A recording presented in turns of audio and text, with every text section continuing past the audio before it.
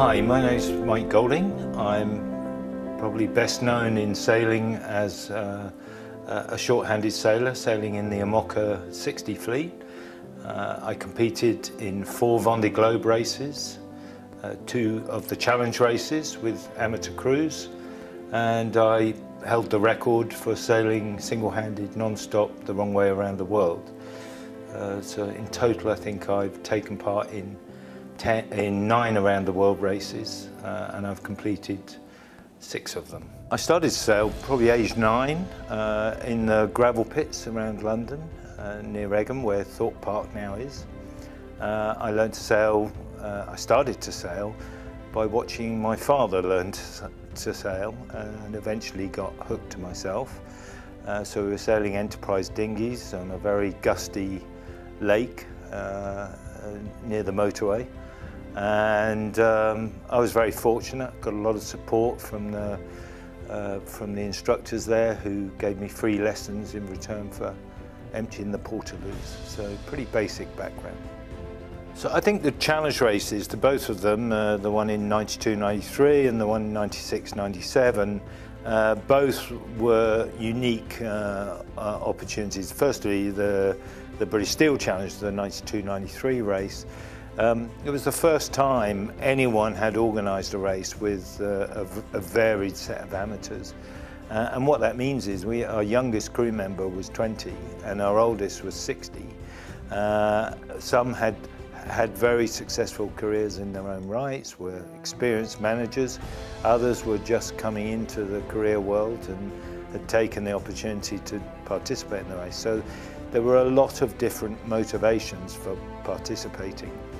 And as the skipper appointed to look after that, not only did you have to teach them how to sail the boat and how to live on board with each other, but you also had to provide them with a real common purpose. And that was the real skill of it. And it, uh, for me as a skipper, it gave me an enormous amount of pleasure to do those two races. Perhaps the biggest pressure that I faced uh, on board any boat was looking after an amateur crew where you realised that, you know, not everyone was as comfortable as you in some of those extreme circumstances. I always think of um, uh, one of our oldest crew members that joined us on the on the first challenge race. Um, we arrived at Cape Horn in rather unusually 55, 60 knots of breeze, uh, sailing downwind with the breeze from the east, very, very unusual.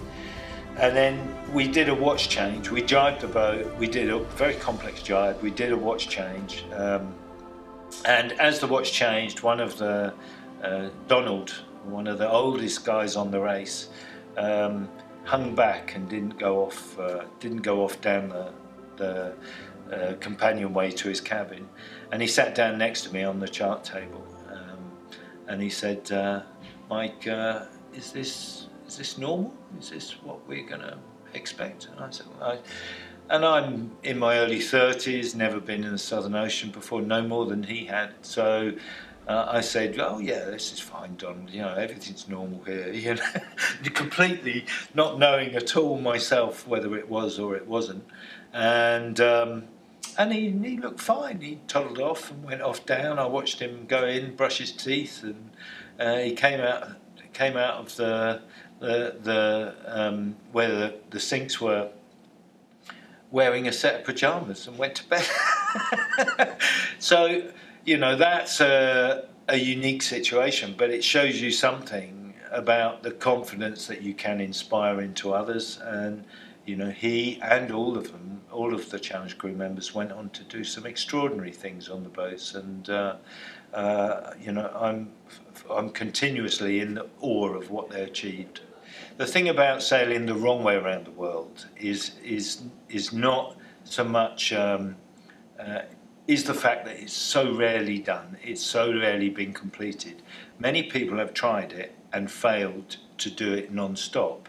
Many people have tried it and done it with stops, but to do that particular turn of the world against the prevailing winds and currents is an extremely difficult thing to do without breaking. Still today, in, in the 21st century, uh, only five people have successfully sailed the wrong way around the world non-stop solo. It is still, even now, an extremely uh, difficult record to attain. I did the, I took part in the Vendée Globe on four separate occasions. Um, on the first one, I was dismasted after eight hours and uh, returned because of the rules of the race. I'm allowed to, was allowed to return to Les Sables d'Olonne. We stepped a new mast, uh, which had to be brought from England. It was a, a, a very complex uh, logistical exercise. We cut new sails, we made new rigging, uh, we got the boat going again in in eight days.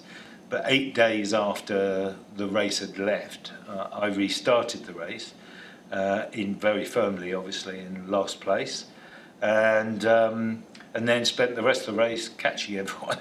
um, ultimately, I finished uh, I finished seventh in in the uh, 2000 race. The race I really should have won was the 2004 race, uh, the next edition. Uh, in fact, uh, I didn't have a stellar start and fell, fell behind a bit, well, by 800 miles in the South Atlantic. Um, but I had a stunning Southern Ocean crossing, um, and I day after day I broke records, and I caught up. And by the Falklands, I took the lead uh, in the Vendée Globe in 2000 Vendée, 2004 Vendée Globe, and um, and within 24 hours, a halyard failure um, put, dropped me back to third place. Uh, I repaired it, um, got the sail up again, retook the lead, and actually it happened another time. It almost sounds unbelievable, but each time I retook the lead, and then eventually I had to run a completely new system in because I had a, a fundamental problem with the main halyard system. Uh, so I had to run a complete replacement system, which took me loads of time, loads of energy. I ended up 100 and 150 miles behind, and I was wasted by the effort of rethreading these halyards. And so, as we approached uh, the finish in the Sables d'Olonne, uh, the three boats that were at the front of the fleet all uh, were line abreast, almost within 20 miles of each other, as we tacked towards um, uh, towards Les Sables d'Olonne. But uh, Vincent Riou, who'd uh, extended up to the north, had better better leverage, and it was pretty clear he was going to win. But you never know; you never can tell with yacht racing. But then, just to add a last bit of spice to it, as we were approaching, uh, I was 90 miles away from finishing.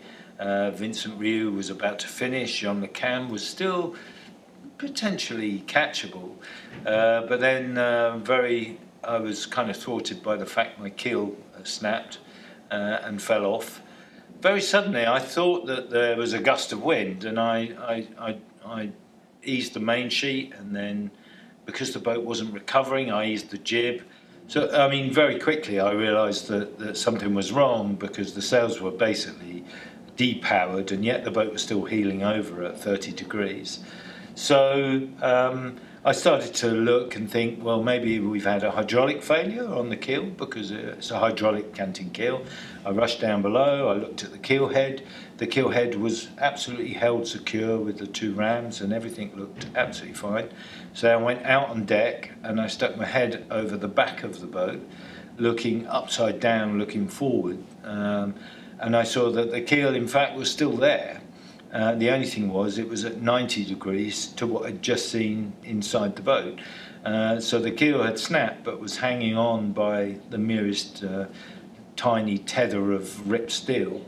Uh, and as I got up and went down below again to put more ballast in the boat, there was a little ting, a bit like uh, pulling the lid off a Coke can. Um, and that was the end of the keel. Three, three and a half tons of keel and bulb disappeared to the bottom. But uh, fortunately, by then I had sufficient ballast in the boat.